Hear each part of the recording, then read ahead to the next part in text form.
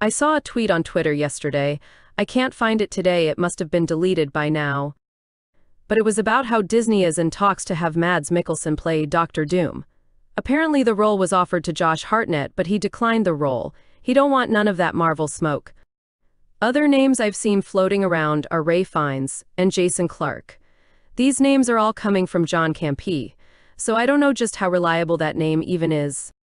I think Ralph Fiennes would be great as the next Doctor Doom, but take Campea's name with a grain of salt. According to Forbes, they're eyeing someone from Oppenheimer for the role, but I think Mads Mikkelsen is currently testing for it. Whoever is casting for this completely forgot he's already a villain in the MCU. I can't help but laugh at this casting choice. It's like getting Henry Cavill to play Green Arrow. Like it's kind of ridiculous how they keep casting Mads in Disney roles. I adore the man, but give other people a chance.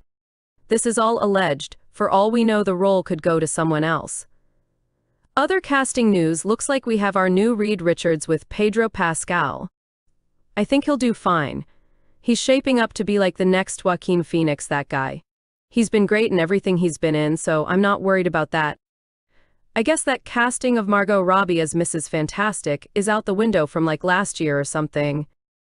I did really like the idea of real-life married couple John Krasinski and Emily Blunt playing the pair, but I guess that's not happening.